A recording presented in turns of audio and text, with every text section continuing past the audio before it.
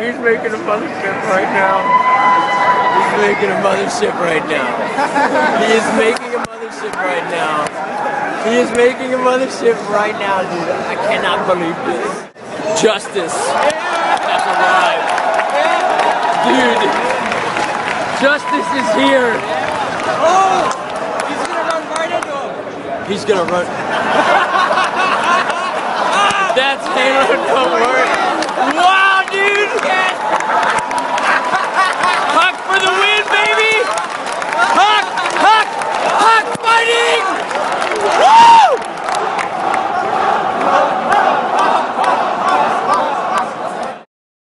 Good evening, ladies and gentlemen. I'm Sebastian Sjöberg, and I'm almost as tired as I look. But did that clip not just bring an epic grin to your happy nerd face?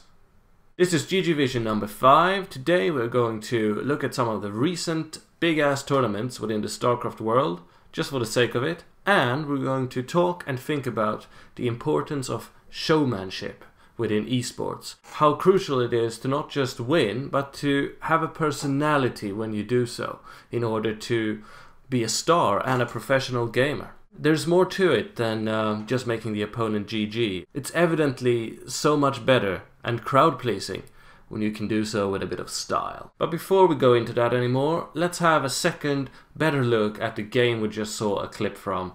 Here, eternalized by legendary StarCraft commentator Moletrap. This is HuK versus Select from MLGDC. There he stims, he runs in, he comsats. What is my mouse doing? Force fields going up, trapping half of the army, it, well actually even just a third of the army inside so he can kill him off very quickly. Nicely done. The mothership of course, oh what does he, what does he do? He just vortexed his, his whole own army. That's, I guess to stop him from getting close enough to his army. Now he's going to be able to pick off this um, uh, bunker, but I think he may have accidentally walked some of his army in there, in, unintentionally there. Uh, unless he was just trying to pin down that one comsat going off as soon as the vortex was wears off. He stims and runs in with the comsats. I don't think he has any comsats left. He needs to finish things off right now. He's finishing off almost all the stalkers though. That mothership needs to get out of there or it's gonna die. Actually, there's not really. There's only a couple marines underneath, so that one marine is not gonna be able to uh, do that much damage on its own. Now you can't argue with the fact that that was a very very cool move by HuK. Now don't get me wrong, I'm not saying that StarCraft players on a stage fighting a big tournament should be circus animals who'll just do tricks in order to get geek chills out of the audience. Of course, the important thing is to win, to be a professional player. But if you can do so by capturing the hearts of uh, the spectators, those who enable those events to happen, you're so much better off. Now, that mothership there was um, epically fantastic. It may or may not have been the best strategic move at the time, but among all the great matches we watched at MLGDC, I'm sure this is the one uh, most of us remember the most. However, moving on to the StarCraft Feast of the Year, the Blizzard Mayhem that is BlizzCon in Anaheim, California, that took place just the other week. I wasn't there, some of you surely were. Next year. And the rest of us watched it from afar. We're gonna look at some of um, the, in my view, best ones that uh, do capture the moment. And the stardom. Kudos to the Game Station Pro for providing this footage. Hey, what's up? This is Day 9 here. I'm casting. Yes, you are. Fuck yeah. When do, when do you start casting? I have no idea. Absolutely It none. looks like there's a match starting right now. Yeah, it's Warcraft 3, I think, first. Oh, okay. Yes? That's what's up with me. but for now, I gotta do some pro gamer hunting. I think he has actual working lights. Does he? Yes. Oh my god, he totally does. Wow. That's cool. That's super cool. Do you want one? I do want one. I actually want to be that guy. You want to be that guy? I do. He's plastic. Look at that. Oh my god, there's something projecting on his cheek. What is it? It's uh, it's like the HUD. You have your ID, right? Oh, yeah. Okay, good. I mean, I'm sure they would know me. I don't know. All right, so just get get your stamp of approval. I was like, I have to see if I have my ID. Yeah. Yeah. Okay. All right. So we'll just we'll just jump back in line and see people yell at us. So who who did, who did, who did we meet? Who was that hugging husky a second ago? The little one. I know. He's so nice looking too. I'm ready. I know my co-casters, Tastes and Artosis are ready. Is the crowd ready too?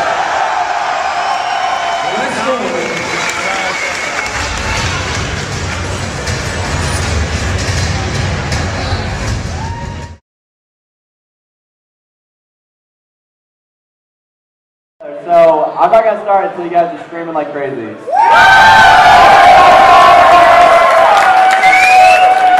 That was really easy. Plus, I didn't have the power to start the game. So. Dario already has 500 APM. and he's gonna break that last off so fast. I'm gonna be going down here to these Hellions. That animation, if we could just kill this queen so I could watch that again, that would be great. Um, so he's gonna be working here with a bunch of Marines and the Hellions. And right now, Dario got two queens, and uh, I'm not sure actually what else he has right now. Not a lot to do with three siege tanks, it looks like, though, as he does have an overseer, so he will seize the hell out of these units, but not going to be able to actually kill them. The hatchery is going to go down, and our poor Evo chamber is going to go down as well. What I am trying to show with these uh, random clips is not just how cool it would be to go to BlizzCon and be a pro gamer. That's quite uh, evident for everybody watching this. What I am trying to showcase is how StarCraft 2 players nowadays, and uh, esports players in general, of course, are becoming more than just nerds who are particularly good at a game. They're becoming stars. Can call them idols, icons, people that are revered, if not feared, in game. And uh, even Husky wrote on his Facebook that his fangirls are way cuter than other people's fangirls. Esports are growing up, and uh, I think that is that is very cool.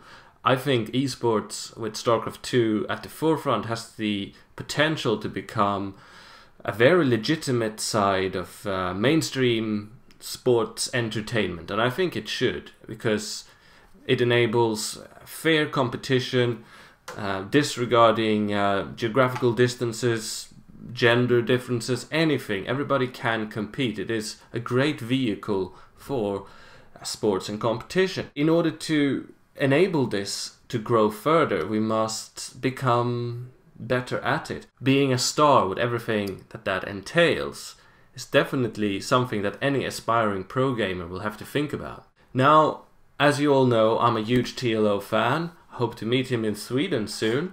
But uh, just to showcase what I mean, let's have another look at his exploits from uh, BlizzCon, this time in game TLO versus Sen.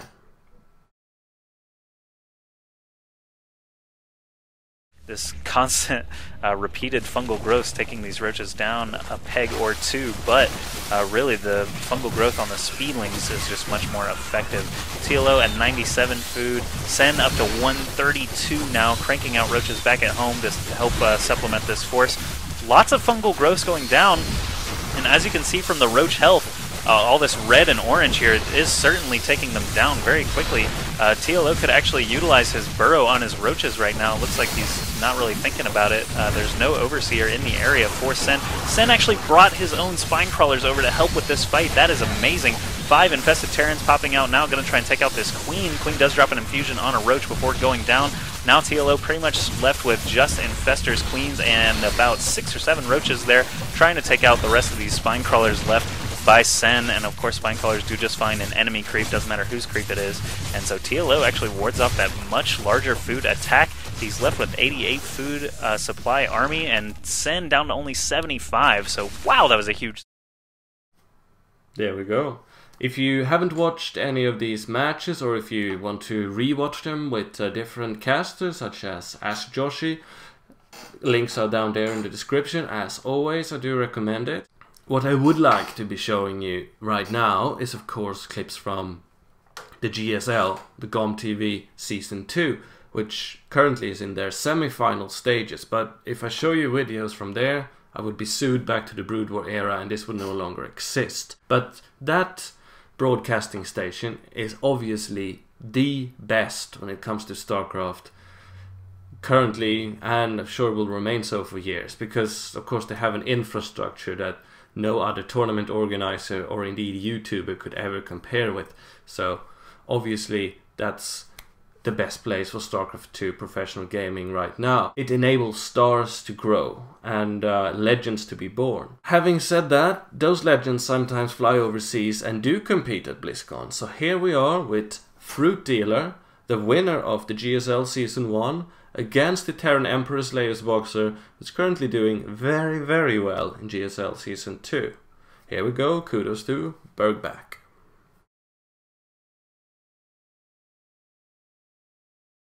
Boxer really needs to expand. Putting the scan down, seeing nothing there. Of course, nothing able to shoot up right now uh, for Boxer, or not Boxer, for Fruit Dealer, except for these mutas. And of course, the mute. Wow, mutas went down really fast there. Uh, all these Thors just doing what they can on damage, and Fruit Dealer just having tons of units. Look at all these banelings coming down, exploding. Look at that, exploding all over the units, just taking out what he can, like all basically all of Boxer's units right now. The only thing Boxer has left is uh, is all of these Banshees, and of course just lifting up what he can of the units because he knows well those Banshees can't do anything, and more Thor is coming in. Oh, he does see it. He does see that uh, medevac coming around. So yeah, look at this. We are sending all the roaches up. Going to start doing some kind of attack as the Thor is now attacking. Oh, burrowing, burrowing all of his drones taking out that queen though as uh, wow as he as all the roaches coming up a little too late here but uh, trying to do some kind of damage taking that overlord to get out of there and this Thor just able to do what he oh look at this in range going to start taking out that hatchery little by little as he can and oh my goodness we are going to see that and uh, start attacking it and that Thor almost dead yet again. Lim Yo-hwan, SlayerS Boxer, the one and only, always bring a nerd smile to my happy face. He may not have won that tournament, but he sure as hell always puts on a good show. Speaking of which, I'm going to show you an old Brood War clip uh, of precisely that, but of a completely different kind. That is one way of doing it. Not necessarily what I want to see, but uh, sometimes um, if you don't have a king, you do need a clown. Some of you will laugh and remember this and cringe, others will probably just be very, very confused. Before we do that, uh, allow me to say a few things. I want to apologize for uh, being so late with this broadcast. I've been a bit supply blocked uh, last week, started a new job, working only nights, yes, etc., etc. But more importantly, I also got some other new exciting things in the works. Polygon Revue is going places. I will be lending my efforts uh, to assist another very exciting esports endeavor, which will be launching uh, within a week or two from now. I can guarantee you that this channel will stay the same. In fact, uh, it will be more consistent and more regular. I want to do some commentary of my own. There will be written articles and continued interviews and other GG Vision like content. So just bear with me, things are in the works. Next time, we are going to talk about the GSL. Even though I can't show you videos from there, we are going to look at it. I'll just have to figure something out. So, do stay tuned. Thanks for watching. I'm Sebastian Sjöberg.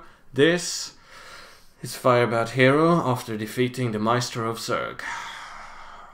See you next time. GG and